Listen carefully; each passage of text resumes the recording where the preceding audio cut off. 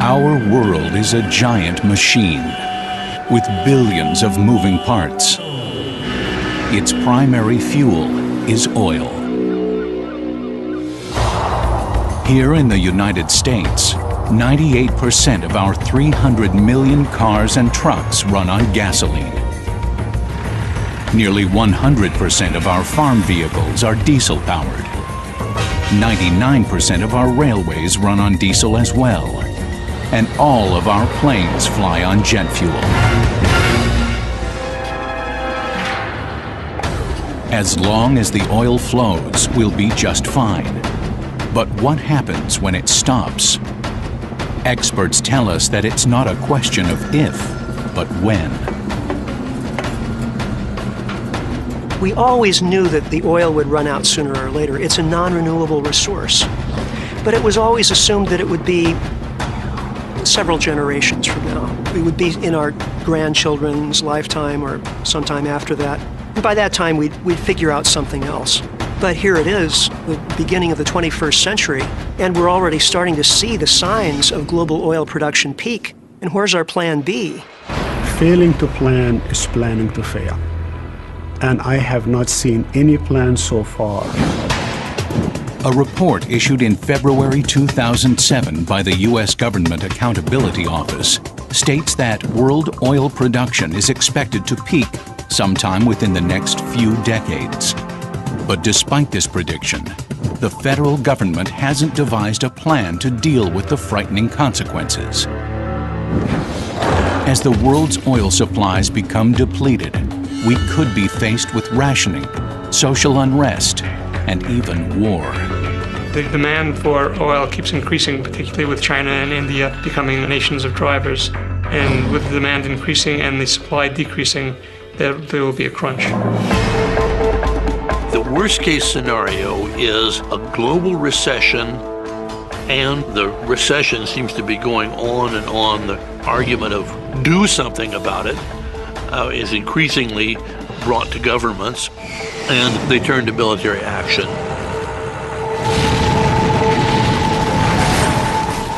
We are on our way to a disaster. So, in order for us to avoid that, we better get ready and be prepared. But while everyone feels the pain at the pump, very little has been done to prepare for the worst. The average citizen doesn't feel any real threat from this because they've always had what they needed. Technology has always come through, and their leaders have always come through in one way or another, and they just believe that the future is going to be like the past. But this time, it may be different. I fear in my heart that uh, it is too late and we cannot overcome this problem. The challenges are staggering the transition from fossil fuels to alternative renewable energies is only now beginning to be ramped up. Solar and wind could help, but at present, they provide less than 1% of our energy. Besides, they produce electricity, not fuel for transportation. Oil is not only our main transportation fuel, it also provides nearly 50% of all our energy needs. Petrochemicals are also the basic compounds in the majority of our day-to-day -day products, like plastics, asphalt, tires, polyester, as well as cosmetics and pharmaceuticals. We didn't always rely on oil. Prior to the mid-19th century, the major sources of power were animal, human, wind, water, coal, and wood. When Colonel Edwin Drake drilled the first American oil well in Pennsylvania in 1859, few realized how important this product would become for our society. When we first started using oil back in the 19th century, it was for lubrication and also for, for lighting. But a few decades after Drake's first well, the automobile made petroleum a vital resource. To feed this hunger for oil, geologists were continually on the hunt for more oil fields. Petroleum fueled the technological expansion of America and the world. It was in planes, trains, and automobiles. Cheap and plentiful, oil was both the goose and the golden egg, stimulating progress that seemed as if it would go on forever.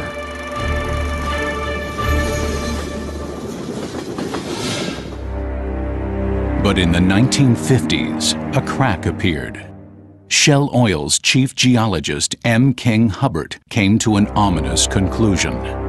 In 1956, he made a prediction that the U.S. dominance in oil would come to an end around 1970 when our ability to extract oil from U.S. wells would start to decline. It was not very well received at the time because people thought that the supply of oil would go on increasing exponentially forever. That's because during the 1950s, the U.S. had thousands of productive oil wells, pumping 10 million barrels a day. But since we used only 7 million, we were able to export our surplus. At the time, the world was consuming 20 million barrels of oil a day. And the U.S. was providing half of the world's oil. But Hubbert's prediction proved correct. After 1970, U.S. production peaked and began to slip. Since 1970, the U.S. has been producing, on average, less oil every year. Today, the U.S. produces only 8.3 million barrels of oil each day, yet consumes more than 20 million barrels. And so that's why we have to import something like two thirds of the oil that we use now. Every day, America buys around 12 million barrels of foreign oil. We are taking a huge amount of our wealth and transferring it to oil producing countries, some of which are not our best friends. Not only are the U.S. and many European and Asian nations relying on foreign oil, much of that oil is getting harder to obtain. We haven't run out of oil. What we've run out of is readily accessible, high quality, low cost oil. There will be oil around for another 100, 150 years. Ever more difficult to get, ever more costly. There was a second part to Hubbert's prediction. He calculated that world oil production would peak during the early part of the 21st century and slide into permanent decline. Some experts today believe his peak oil theory has already been confirmed. It's much like the story of the boy who cried wolf. And people learn not to pay attention, but at the end of the story, the wolf really does show up. And at the end of the story, the wolf really will show up in the fact that oil will run out. Despite this, for decades we've been increasing our dependence on oil. Part of us understands that oil can't be forever. And yet we're kind of addicted to this infrastructure, this culture that we're in. People have left the cities and they've left rural areas. There's been huge economic growth in the suburbs and the exurbs. And uh, driving a car is not discretionary. This is how you get to work, do your shopping, go to school. The car is really part of how people live. And they like to do that particularly in big SUVs, which are fast and comfortable and people think are safe. And now, as China, India, and other developing nations are rapidly industrializing, they're creating an energy-hungry consumer class. As oil production inevitably begins to max out, there will be less to go around, with dire consequences. I just can't imagine societies willingly accepting a enormously decreased quality of life when they have a huge military that could get the oil. Many experts worry that with transportation, industry, agriculture, and communications grinding to a halt, the result could be a desperate scramble for the basic necessities of life. Region against region, nation against nation.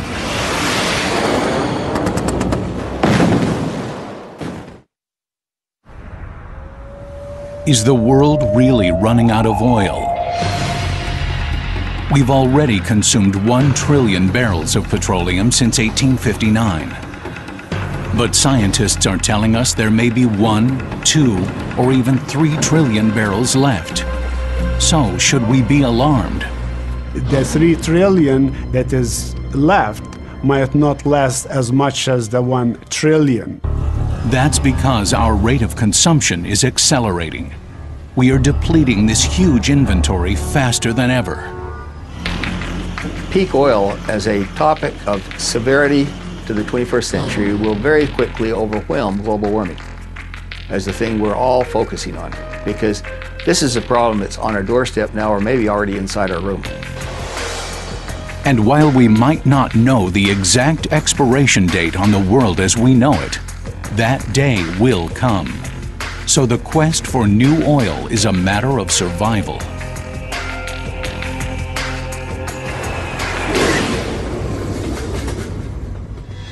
Petroleum is typically found deep within the earth.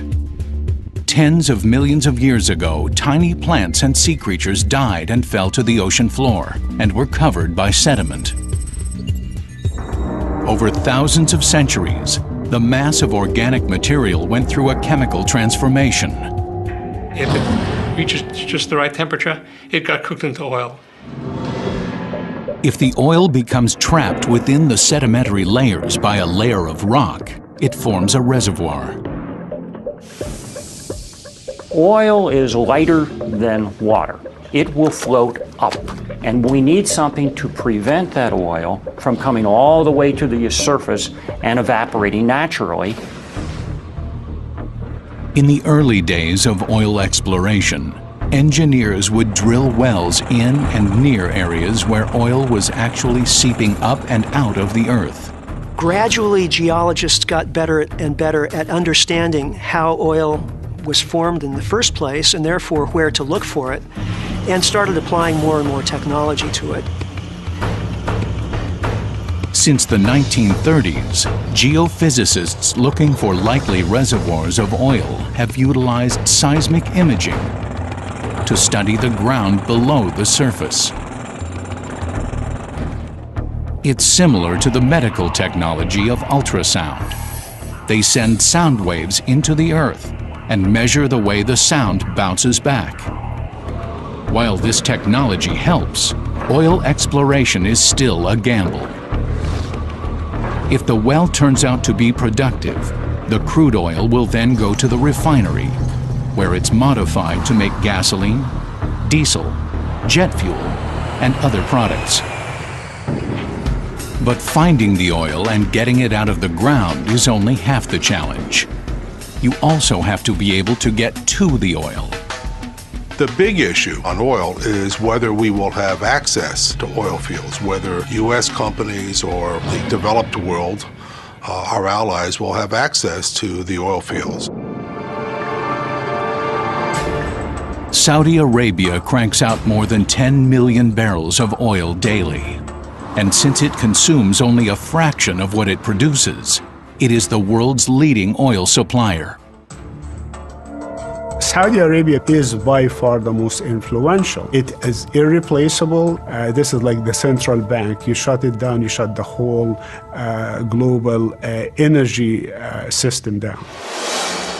Some experts, including Houston investment banker Matthew Simmons, believe that Saudi Arabia has already reached peak oil production and that its current rate of export cannot be maintained. Based on his research and laid out in his book Twilight in the Desert, he claims Saudi Arabia has inflated its oil reserves from 160 to 260 billion barrels. They have vast amounts of oil, but it's a little bit like when you're when you're using toothpaste and about halfway through the tube it starts to get harder and harder to get the remaining amount out and you finally throw the toothpaste tube away with an awful lot of toothpaste still left in the tube. It's just not worth getting out. That's where we are today with our high quality oil. Conventional wells typically can only extract about one third of the oil that's in a specific field. So even though there may still be plenty of oil left, most of it goes unused. While new technologies are helping maximize the amount of oil that can be extracted, they often only speed up the depletion process. Eventually, oil shortages are inevitable. In 1973, we got a highly unpleasant first taste of what we could face when an artificial oil shortage was created by OPEC, the Organization of Petroleum Exporting Countries. The oil embargo led to huge increases in the price of gasoline, gas rationing, and long lines. This in turn caused inflation, unemployment, and a recession that took years to resolve. American consumers responded by rejecting gas guzzlers and briefly becoming infatuated with smaller, more fuel-efficient cars. But other countries took a more proactive approach. Brazil developed a massive industry to turn sugarcane into ethanol. Today, most of Brazil's 3 million cars run on either ethanol or gasohol, a combination fuel product. What Brazil did was exactly what other countries ought to have done, and that is to look for sources of energy which you controlled, which was in your country. But after oil prices stabilized in the 1980s and 90s, American consumers lost their interest in fuel efficiency. With the return of cheap oil came a turn toward gas-thirsty SUVs and high-powered cars.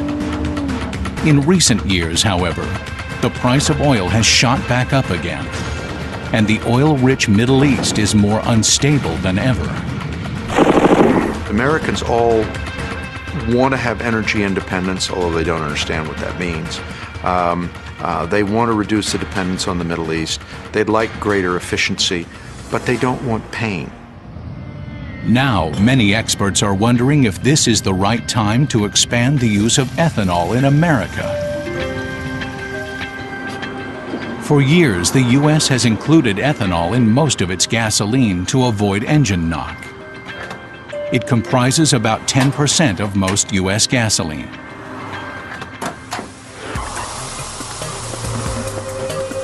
Ethanol, which is actually a high-proof version of alcohol, is made by fermenting any number of organic substances, such as sugarcane, grains, corn, or even lawn clippings and garbage. In the U.S., most of it comes from corn. Producing ethanol is relatively easy, but it comes with some vexing problems. It's not cheap to make, and it can wreak havoc with our food supply. The National Renewable Energy Laboratory in Golden, Colorado is exploring ways to make ethanol more affordable and a viable alternative to gasoline. Our analysis shows that it would be comparative to $3.50 a gallon for the fuel. And really we want to get that down to $2 a gallon and that's really the research that we're doing at this facility is specifically improving the fermentation and the other processes to greatly reduce this cost of producing this fuel. But since ethanol requires so much energy to make and causes pollution, many experts view it as only a temporary fix to our energy problems. On our current slate of, of things we're working on, we're having a passionate love affair with ethanol. That is a real bad product. So strike that one off the list. The hope now is that we can develop other alternative energies before our world comes crashing down.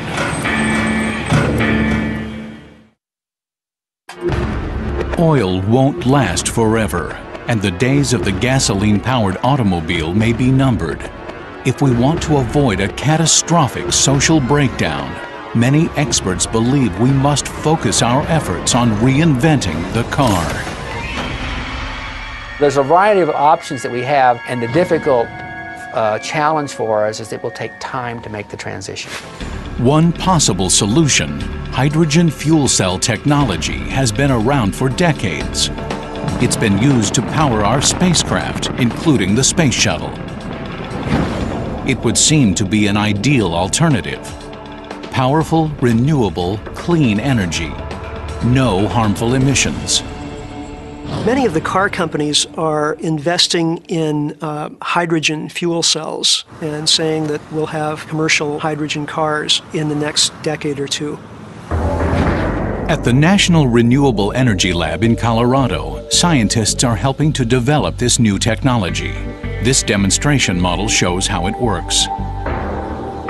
It starts with sunlight coming in, producing electricity through a photovoltaic solar cell. That then uses electricity in an electrolyzer, which splits water, which is H2O, into hydrogen and oxygen. It then separates the hydrogen and oxygen and feeds them back into a fuel cell, producing electricity, water, and heat and that then can uh, provide the power for a car. So simple, so elegant. There are just a few hitches. For one thing, the price. Demonstration models of fuel cell cars currently cost up to a million dollars. And there are other problems. Unlike oil or ethanol, hydrogen in itself is not an energy source. It takes energy to create it you have to make the hydrogen from something else. Most commercially made hydrogen now is from natural gas. It's possible to make hydrogen from water, but that requires a lot of electricity.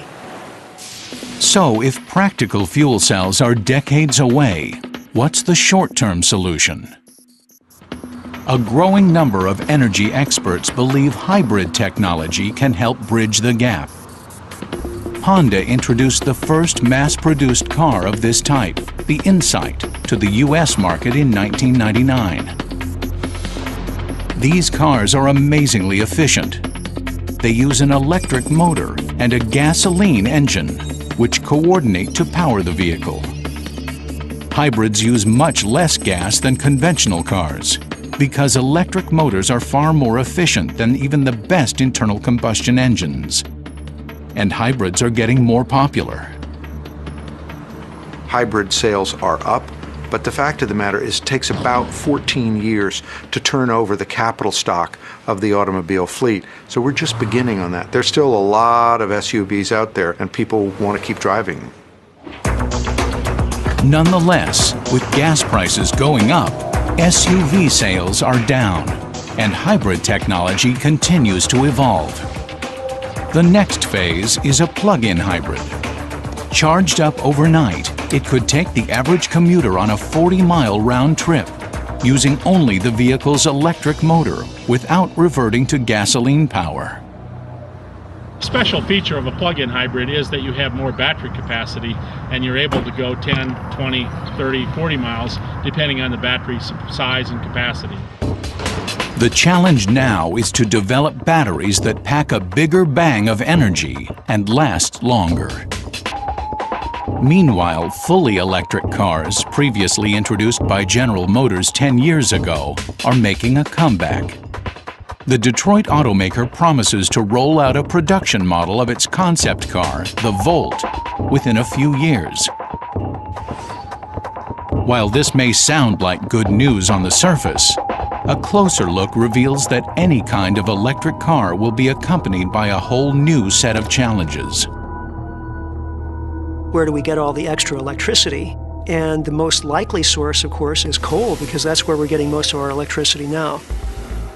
If we have an electric power plant that's based on coal, it generates a great amount of carbon dioxide and unfortunately mercury as well, which is currently put into the atmosphere. This causes climate change. But the development of new technology may provide a solution. There are several ways we can deal with that carbon dioxide. In a big plant, it is not terribly difficult to capture the carbon dioxide. It's expensive, but not difficult.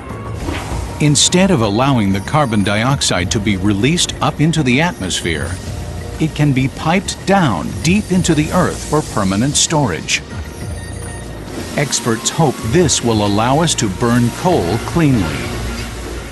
Clean coal technology would be one of the pillars, if you will, of any long-term national energy policy.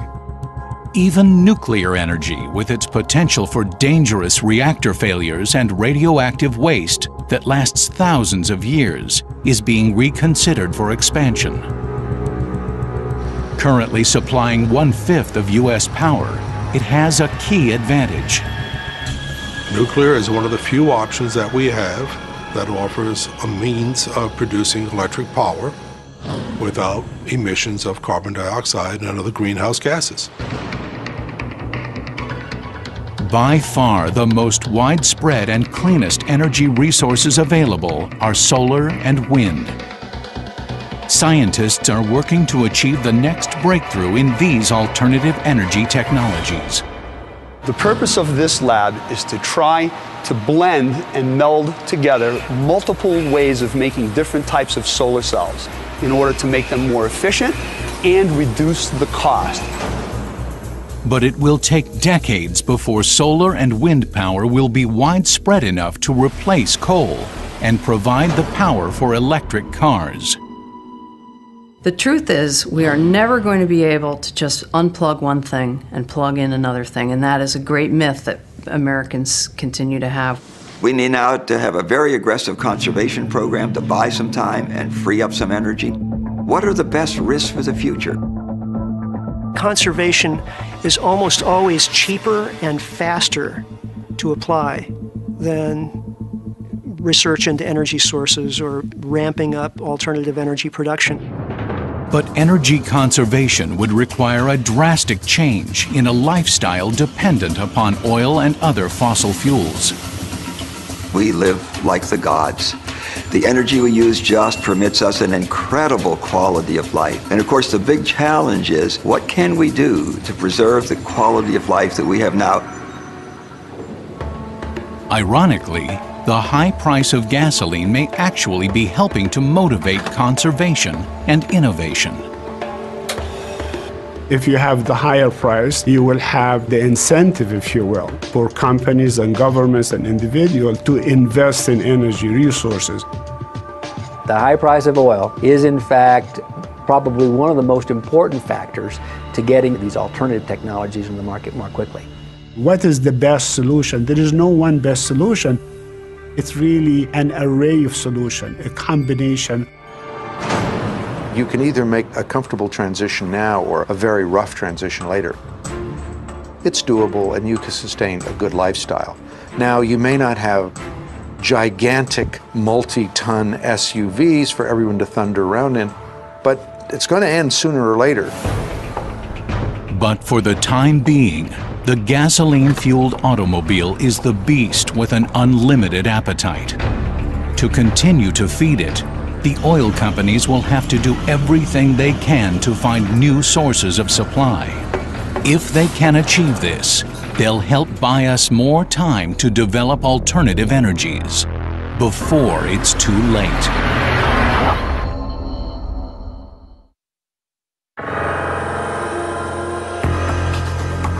The sobering reality we face is that we can no longer count on getting oil as cheaply and easily as we have in the past.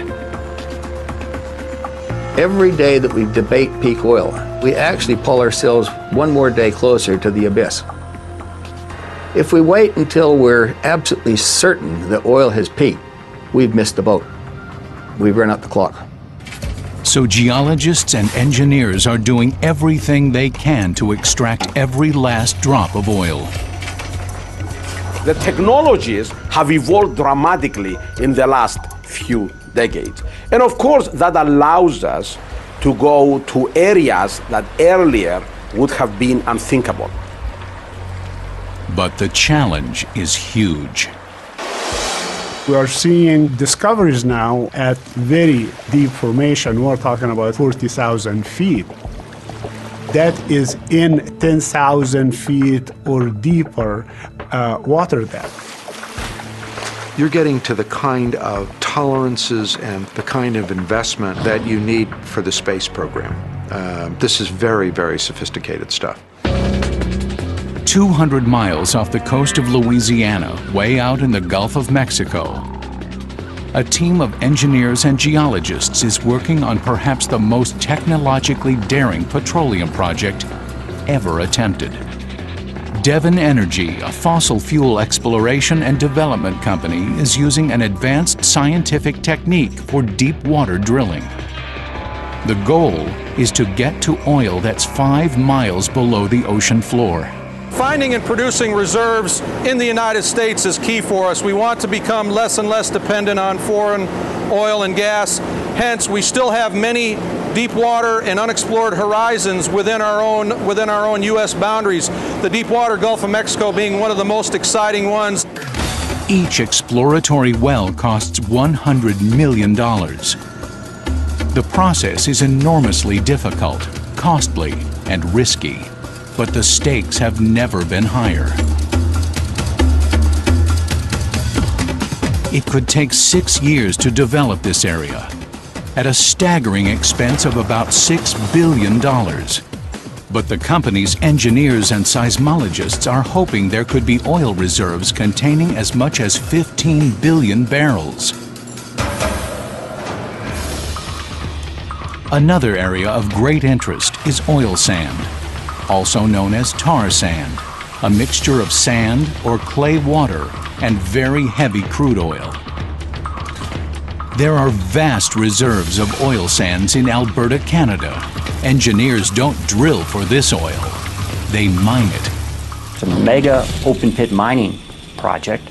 Mine the sands, cook them, extract the oil, put the sand back in place as best you can. Partly due to the mining of oil sands, Canada has ramped up production in recent years. It's now become the U.S.'s number one supplier of imported oil, outranking even Saudi Arabia. But there are drawbacks to this source of oil as well. It is not easy, it is messy, it is costly, and it's environmentally uh, challenging. So there is no free lunch. Another major supplier, Venezuela has huge deposits of heavy oil. It exports around 2.2 million barrels daily, even though much of it is considered to be inferior to Middle Eastern oil. The quality of oil makes it less attractive in terms of suitability for refining and other application. But uh, Venezuela heavy oil reserve could be running in the hundreds of billions of barrels. The type of heavy oil found there needs more refining than the light crude that comes from the Middle East. But the growing demand has made Venezuelan oil economically attractive. As geologists search everywhere for more petroleum, their attention has focused on the potential of oil shale. First discovered in the early part of the 20th century, oil shale is not liquid. The oil must be withdrawn from solid rock. Oil shale is unborn oil. It's organic inclusions in rocks that sank not deep enough in the earth to be cooked into oil. And so it's, it's not oil. There are vast deposits of oil shale in Colorado. That area holds more oil in the form of oil shale than the total oil reserves of Saudi Arabia. Unlike regular petroleum, oil shale is actually refined in place. One method being tested is a process in which heated carbon dioxide is injected down into the shale formation and when it turns to liquid oil, it is then pumped out. But again, there are problems. It's environmentally very damaging and extremely expensive, and it may take more energy to produce the oil than the oil will produce. So, whether oil shale will ever be a, an important resource remains to be seen. Another possible source of oil is coal. During World War II, the Nazis, desperate to fuel their war machine, developed this technology. The Germans flew their Air Force during World War II on aviation gasoline made from soft brown coal. So the technology is not a mystery. And we have vast supplies of coal. We are the Saudi Arabia of coal in the world. We have massive reserves, and the technology is available to take that coal and make it into high quality diesel fuel and gasoline. But converting coal to oil is another short-term solution, as it is expensive, polluting, and doesn't get us away from fossil fuels. So switching over to any one of these possible energy sources comes with high costs and unknown consequences. But tough times may call for tough measures. It's already too late to have a truly soft landing. In other words, we can't start now to make these changes and hope to have a transition from our current society to a, a, truly sustainable society without any cost, without any pain. But if we forego that pain, experts fear that the price of inaction could be an all-out war over oil.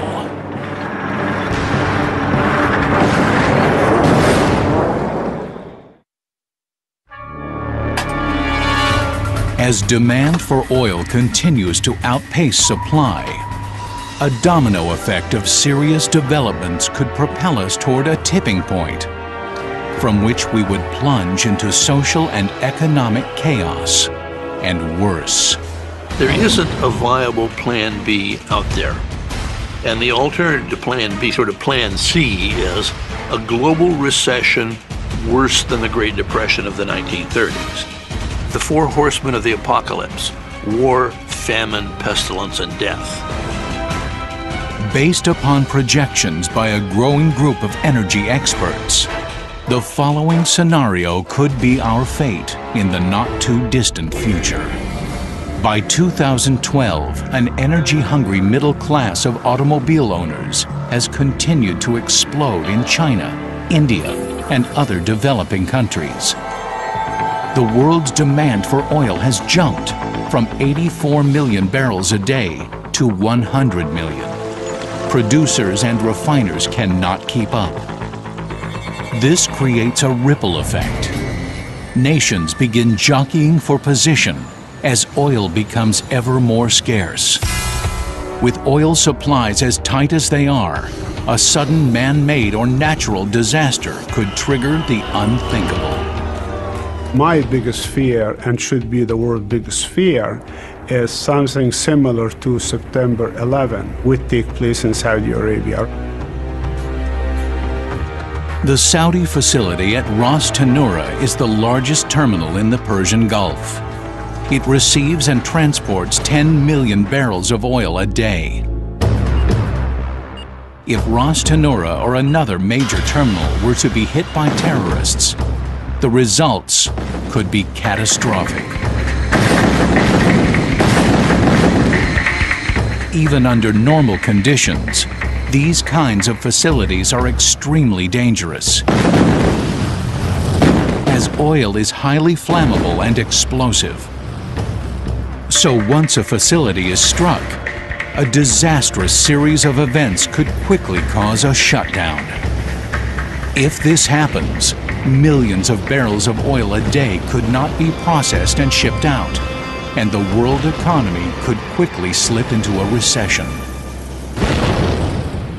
My biggest concern long term is a real outstripping of supply and a complete failure or breakdown in the system of energy security. We got a precursor in the United States in the summer of 1979 when we had our second long gas lines. There were shootings, there were fistfights, and cars would be smashed. As the crisis deepens, the price of oil rises sharply to $150 a barrel. A gallon at the pump reaches a shocking $8. The SUV owner has to cough up nearly $200 to fill up tens of millions of people in the suburbs with no available mass transportation can't get to work. As oil prices rise, farms can no longer produce food cheaply. Trucking costs tied to the price of fuel rise dramatically that'll raise the price of food. So if you have a combination of rapidly increasing energy costs and food costs, that means a general economic recession is almost a guarantee. That first winter, there are shortages and price spikes in home heating oil. To cope, many return to using wood for fuel. The skies turn an ever-present gray. People who lack fuel altogether will not survive. With so many products dependent on gasoline, either for their delivery or manufacture, the price of the basic necessities of life skyrockets.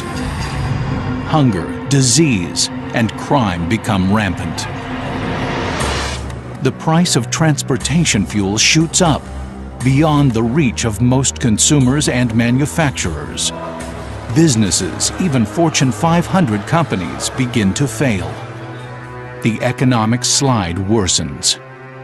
We're now in a full-blown depression. We'd have an increasing problem with unemployment. People would be losing their homes because they couldn't make the payments. Banks would be failing. The stock market crashes. Breadlines return. Millions of people become homeless. Inflation rises so high, money becomes practically worthless. The government would have to deal with people not having anywhere to go, not having jobs, and they'd have riots and unrest in the street. As the economy crumbles, the black market takes over. Gangs rise up to protect the traders. Society teeters on the edge of collapse. As people lose their connection with a larger functional social matrix, they'll try to survive any way they can. Motorcycles rule the day, tricked out to run on ethanol made on rooftops and in backyards. It's a Mad Max world in which people cobble together their own Plan B strategies for survival. In order to save their desperate nations, governments consider armed intervention. The United States and China have both announced that they will not be denied access to world oil supplies because oil is vital to their economies. And a lot of wars have been fought over less than that. If outside nations invade the Middle East to get to the fields, they may be faced with nuclear weapons the oil-producing nations have procured to defend the last of their oil.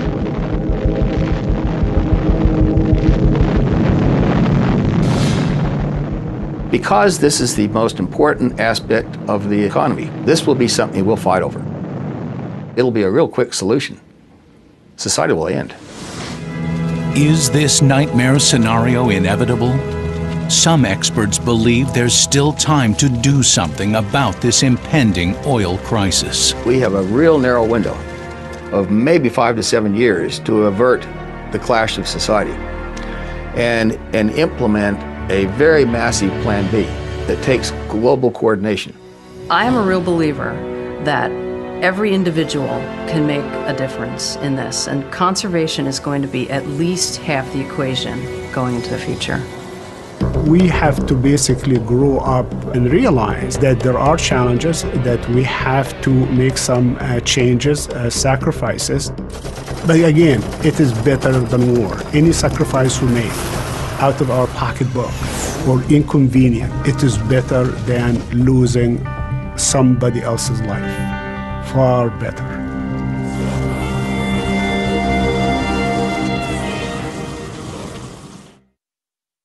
U.S. produces only 8.3 million barrels of oil each day, yet consumes more than 20 million barrels. And so that's why we have to import something like two thirds of the oil that we use now. Every day, America buys around 12 million barrels of foreign oil. We are taking a huge amount of our wealth and transferring it to oil producing countries, some of which are not our best friends. Not only are the U.S. and many European and Asian nations relying on foreign oil, much of that oil is getting harder to obtain. We haven't run out of oil. What we've run out of is readily accessible, high quality, low cost oil. There will be oil around for another 100, 150 years. Ever more difficult to get, ever more costly. There was a second part to Hubbert's prediction. He calculated that world oil production would peak during the early part of the 21st century and slide into permanent decline. Some experts today believe his peak oil theory has already been confirmed. It's much like the story of the boy who cried wolf. And people learn not to pay attention, but at the end of the story, the wolf really does show up. And at the end of the story, the wolf really will show up in the fact that oil will run out. Despite this, for decades we've been increasing our dependence on oil. Part of us understands that oil can't be forever. And yet we're kind of addicted to this infrastructure, this culture that we're in. People have left the cities and they've left rural areas. There's been huge economic growth in the suburbs and the exurbs. And uh, driving a car is not discretionary. This is how you get to work, do your shopping, go to school. The car is really part of how people live. And they like to do that particularly in big SUVs, which are fast and comfortable and people think are safe. And now, as China, India, and other developing nations are rapidly industrializing, they're creating an energy-hungry consumer class. As oil production inevitably begins to max out, there will be less to go around, with dire consequences. I just can't imagine societies willingly accepting a enormously decreased quality of life when they have a huge military that could get the oil. Many experts worry that with transportation, industry, agriculture, and communications grinding to a halt, the result could be a desperate scramble for the basic necessities of life. Region against region, nation against nation.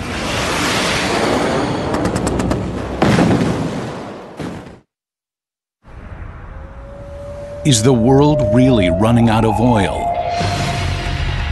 We've already consumed 1 trillion barrels of petroleum since 1859.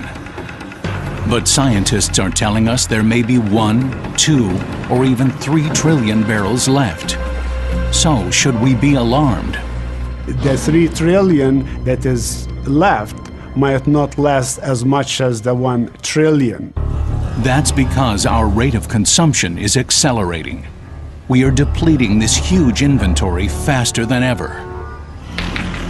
Peak oil as a topic of severity to the 21st century will very quickly overwhelm global warming as the thing we're all focusing on because this is a problem that's on our doorstep now or maybe already inside our room. And while we might not know the exact expiration date on the world as we know it, that day will come. So the quest for new oil is a matter of survival.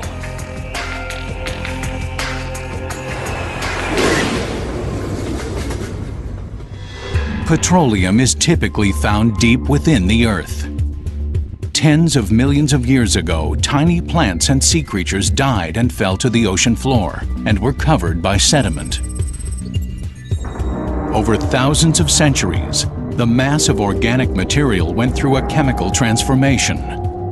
If it reaches just the right temperature, it got cooked into oil. If the oil becomes trapped within the sedimentary layers by a layer of rock, it forms a reservoir. Oil is lighter than water. It will float up.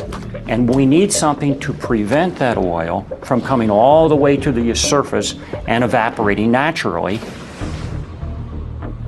In the early days of oil exploration, engineers would drill wells in and near areas where oil was actually seeping up and out of the earth.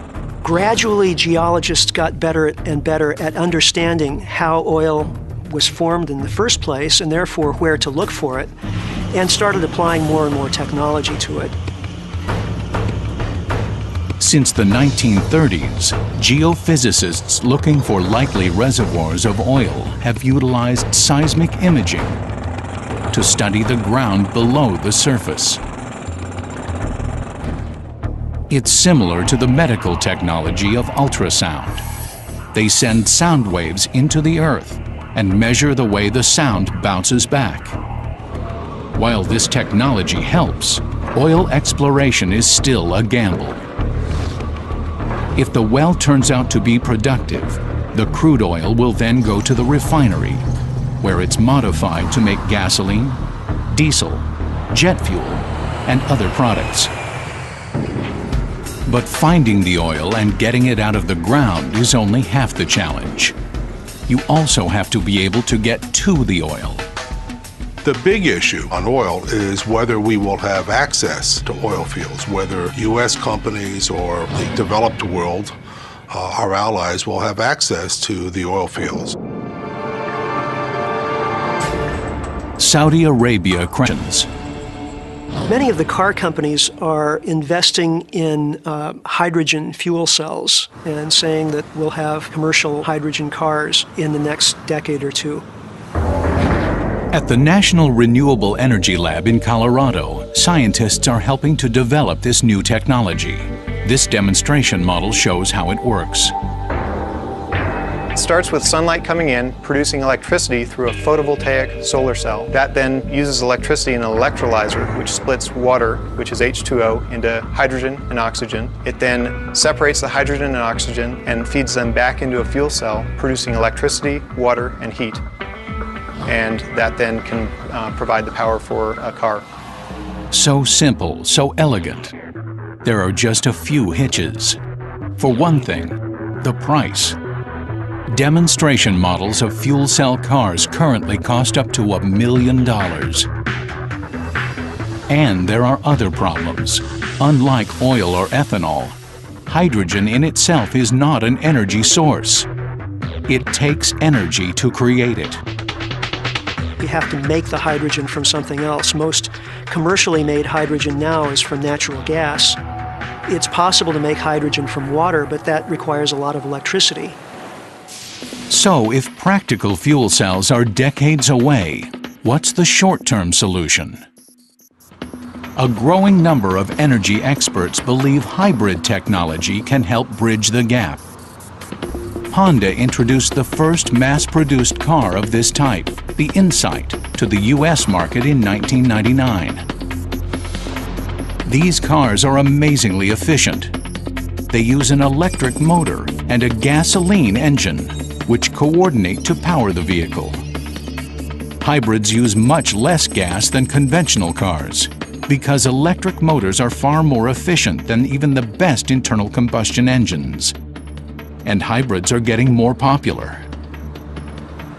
Hybrid sales are up, but the fact of the matter is it takes about 14 years to turn over the capital stock of the automobile fleet. So we're just beginning on that. There's still a lot of SUVs out there and people want to keep driving. Nonetheless, with gas prices going up, SUV sales are down and hybrid technology continues to evolve. The next phase is a plug-in hybrid. Charged up overnight, it could take the average commuter on a 40-mile round trip using only the vehicle's electric motor without reverting to gasoline power. Special feature of a plug-in hybrid is that you have more battery capacity and you're able to go 10, 20, 30, 40 miles depending on the battery size and capacity.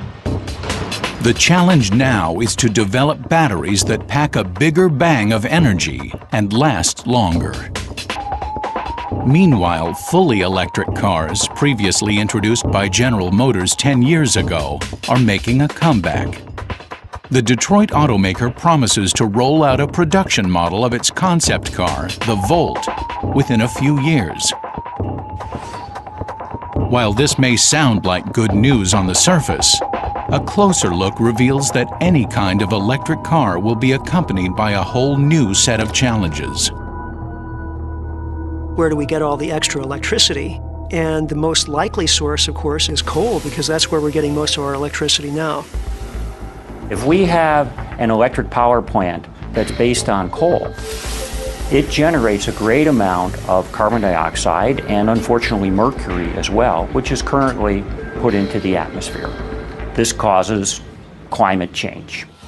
But the development of new technology may provide a solution. There are several ways we can deal with that carbon dioxide. In a big plant, it is not terribly difficult to capture the carbon dioxide. It's expensive, but not difficult. Instead of allowing the carbon dioxide to be released up into the atmosphere, it can be piped down deep into the earth for permanent storage. Experts hope this will allow us to burn coal cleanly. Clean coal technology would be one of the pillars, if you will, of any long term uh, national energy policy. Even nuclear energy, with its potential for dangerous reactor failures and radioactive waste that lasts thousands of years, is being reconsidered for expansion. Currently supplying one fifth of U.S. power, it has a key advantage. Nuclear is one of the few options that we have that offers a means of producing electric power without emissions of carbon dioxide and other greenhouse gases. By far the most widespread and cleanest energy resources available are solar and wind. Scientists are working to achieve the next breakthrough in these alternative energy technologies. The purpose of this lab is to try to blend and meld together multiple ways of making different types of solar cells in order to make them more efficient and reduce the cost. But it will take decades before solar and wind power will be widespread enough to replace coal and provide the power for electric cars. The truth is, we are never going to be able to just unplug one thing and plug in another thing, and that is a great myth that Americans continue to have. We need now to have a very aggressive conservation program to buy some time and free up some energy. What are the best risks for the future? Conservation is almost always cheaper and faster to apply than research into energy sources or ramping up alternative energy production. But energy conservation would require a drastic change in a lifestyle dependent upon oil and other fossil fuels. We live like the gods. The energy we use just tanks out more than 10 million barrels of oil daily. And since it consumes only a fraction of what it produces, it is the world's leading oil supplier. Saudi Arabia is by far the most influential. It is irreplaceable. Uh, this is like the central bank. You shut it down, you shut the whole uh, global uh, energy uh, system down. Some experts, including Houston investment banker Matthew Simmons, believe that Saudi Arabia has already reached peak oil production and that its current rate of export cannot be maintained. Based on his research and laid out in his book, Twilight in the Desert, he claims Saudi Arabia has inflated its oil reserves from 160 to 260 billion barrels. They have vast amounts of oil, but it's a little bit like when you're when you're using toothpaste and about halfway through the tube it starts to get harder and harder to get the remaining amount out, and you finally throw the toothpaste tube away with an awful lot of toothpaste still left in the tube. It's just not worth getting out. That's where we are today with our high quality oil. Conventional wells typically can only extract about one third of the oil that's in a specific field. So even though there may still be plenty of oil left, most of it goes unused. While new technologies are helping maximize the amount of oil that can be extracted, they often only speed up the depletion process. Eventually, oil shortages are inevitable. In 1973, we got a highly unpleasant first taste of what we could face when an artificial oil shortage was created by OPEC the Organization of Petroleum Exporting Countries. The oil embargo led to huge increases in the price of gasoline, gas rationing, and long lines. This in turn caused inflation, unemployment, and a recession that took years to resolve. American consumers responded by rejecting gas guzzlers and briefly becoming infatuated with smaller, more fuel-efficient cars. But other countries took a more proactive approach. Brazil developed a massive industry to turn sugarcane into ethanol. Today, most of Brazil's 3 million cars run on either ethanol or gasohol, a combination fuel product.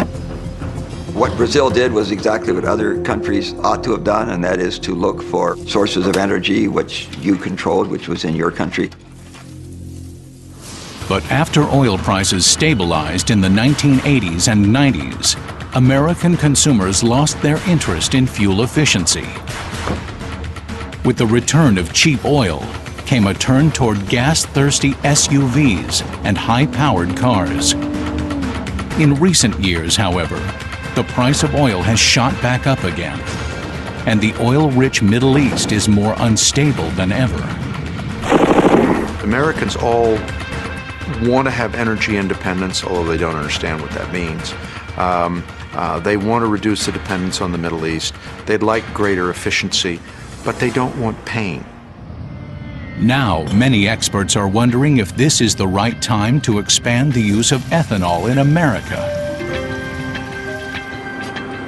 For years, the U.S. has included ethanol in most of its gasoline to avoid engine knock. It comprises about 10% of most U.S. gasoline.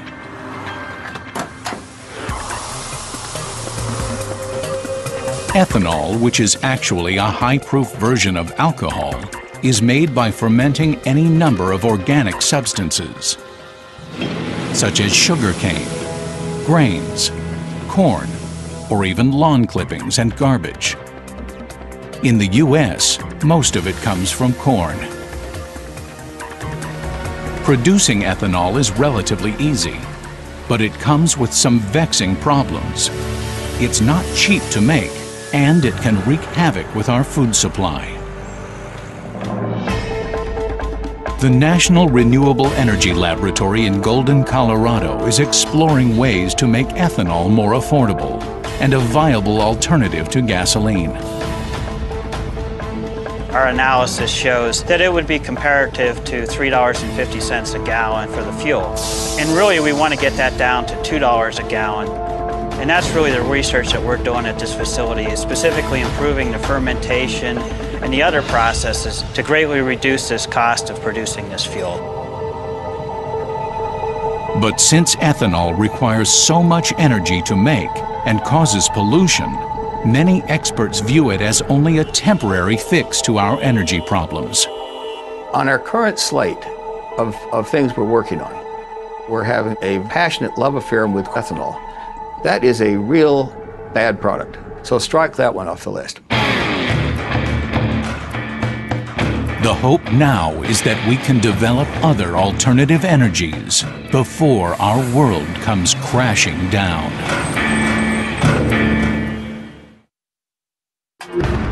Oil won't last forever, and the days of the gasoline-powered automobile may be numbered. If we want to avoid a catastrophic social breakdown, many experts believe we must focus our efforts on reinventing the car. There's a variety of options that we have, and the difficult uh, challenge for us is it will take time to make the transition. One possible solution, hydrogen fuel cell technology, has been around for decades. It's been used to power our spacecraft, including the Space Shuttle. It would seem to be an ideal alternative. Powerful, renewable, clean energy. No harmful emissions. Our world is a giant machine with billions of moving parts. Its primary fuel is oil. Here in the United States, 98% of our 300 million cars and trucks run on gasoline. Nearly 100% of our farm vehicles are diesel powered. 99% of our railways run on diesel as well. And all of our planes fly on jet fuel. As long as the oil flows, we'll be just fine. But what happens when it stops? Experts tell us that it's not a question of if, but when. We always knew that the oil would run out sooner or later. It's a non-renewable resource. But it was always assumed that it would be several generations from now. We would be in our grandchildren's lifetime or sometime after that. And by that time, we'd, we'd figure out something else. But here it is, the beginning of the 21st century, and we're already starting to see the signs of global oil production peak. And where's our plan B? Failing to plan is planning to fail. And I have not seen any plan so far. A report issued in February 2007 by the U.S. Government Accountability Office states that world oil production is expected to peak sometime within the next few decades. But despite this prediction, the federal government hasn't devised a plan to deal with the frightening consequences. As the world's oil supplies become depleted, we could be faced with rationing, social unrest, and even war. The demand for oil keeps increasing, particularly with China and India becoming nations of drivers. And with the demand increasing and the supply decreasing, there, there will be a crunch. The worst case scenario is a global recession, and the recession seems to be going on and on. The argument of do something about it uh, is increasingly brought to governments, and they turn to military action.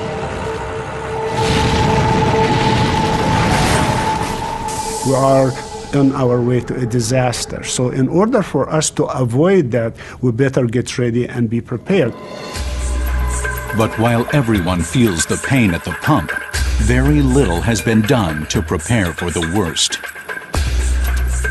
The average citizen doesn't feel any real threat from this because they've always had what they needed. Technology has always come through, and their leaders have always come through in one way or another, and they just believe that the future is going to be like the past. But this time, it may be different. I fear in my heart that it is too late and we cannot overcome this problem. The challenges are staggering. The transition from fossil fuels to alternative renewable energies is only now beginning to be ramped up. Solar and wind could help, but at present, they provide less than 1% of our energy. Besides, they produce electricity, not fuel for transportation. Oil is not only our main transportation fuel, it also provides nearly 50% of all our energy needs. Petrochemicals are also the basic compounds in the majority of our day-to-day -day products, like plastics, asphalt, tires, polyester, as well as cosmetics and pharmaceuticals. We didn't always rely on oil. Prior to the mid-19th century, the major sources of power were animal, human, wind, water, coal, and wood. When Colonel Edwin Drake drilled the first American oil well in Pennsylvania in 1859, few realized how important this product would become for our society. When we first started using oil back in the 19th century, it was for lubrication and also for, for lighting. But a few decades after Drake's first well, the automobile made petroleum a vital resource. To feed this hunger for oil, geologists were continually on the hunt for more oil fields. Petroleum fueled the technological expansion of America and the world. It was in planes, trains, and automobiles. Cheap and plentiful, oil was both the goose and the golden egg, stimulating progress that seemed as if it would go on forever.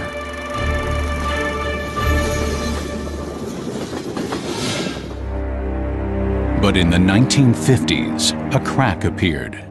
Shell Oil's chief geologist M. King Hubbert came to an ominous conclusion. In 1956, he made a prediction that the U.S. dominance in oil would come to an end around 1970 when our ability to extract oil from U.S. wells would start to decline. It was not very well received at the time because people thought that the supply of oil would go on increasing exponentially forever. That's because during the 1950s, the U.S. had thousands of productive oil wells, pumping 10 million barrels a day. But since we used only 7 million, we were able to export our surplus. At the time, the world was consuming 20 million barrels of oil a day. And the U.S. was providing half of the world's oil. But Hubbert's prediction proved correct. After 1970, U.S. production peaked and began to slip. Since 1970, the U.S. has been producing, on average, less oil every year. Today, the permits us an incredible quality of life. And of course, the big challenge is what can we do to preserve the quality of life that we have now? Ironically, the high price of gasoline may actually be helping to motivate conservation and innovation. If you have the higher price, you will have the incentive, if you will, for companies and governments and individuals to invest in energy resources. The high price of oil is, in fact, probably one of the most important factors to getting these alternative technologies in the market more quickly. What is the best solution? There is no one best solution. It's really an array of solutions, a combination. You can either make a comfortable transition now or a very rough transition later. It's doable and you can sustain a good lifestyle. Now, you may not have gigantic multi-ton SUVs for everyone to thunder around in, but it's going to end sooner or later. But for the time being, the gasoline-fueled automobile is the beast with an unlimited appetite. To continue to feed it, the oil companies will have to do everything they can to find new sources of supply. If they can achieve this, they'll help buy us more time to develop alternative energies before it's too late.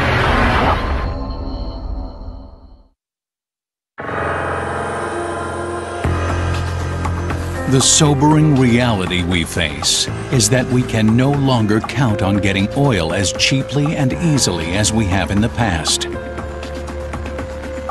Every day that we debate peak oil, we actually pull ourselves one more day closer to the abyss. If we wait until we're absolutely certain that oil has peaked, we've missed the boat. We've run out the clock. So geologists and engineers are doing everything they can to extract every last drop of oil. The technologies have evolved dramatically in the last few decades. And of course, that allows us to go to areas that earlier would have been unthinkable. But the challenge is huge. We are seeing discoveries now at very deep formation. We're talking about 40,000 feet. That is in 10,000 feet or deeper uh, water depth. You're getting to the kind of tolerances and the kind of investment that you need for the space program. Um, this is very, very sophisticated stuff. 200 miles off the coast of Louisiana, way out in the Gulf of Mexico. A team of engineers and geologists is working on perhaps the most technologically daring petroleum project ever attempted. Devon Energy, a fossil fuel exploration and development company, is using an advanced scientific technique for deep water drilling. The goal is to get to oil that's five miles below the ocean floor. Finding and producing reserves in the United States is key for us. We want to become less and less dependent on foreign oil and gas.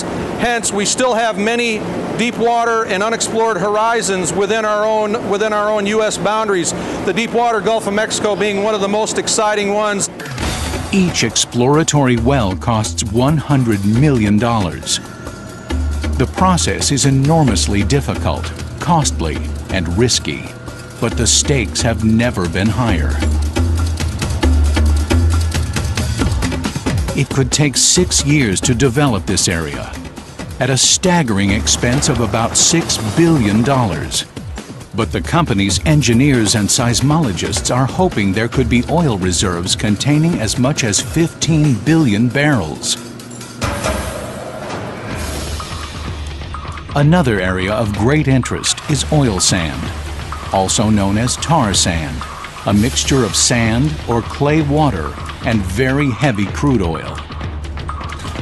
There are vast reserves of oil sands in Alberta, Canada. Engineers don't drill for this oil, they mine it. It's a mega open pit mining project. Mine the sands, cook them, extract the oil, put the sand back in place as best you can. Partly due to the mining of oil sands, Canada has ramped up production in recent years.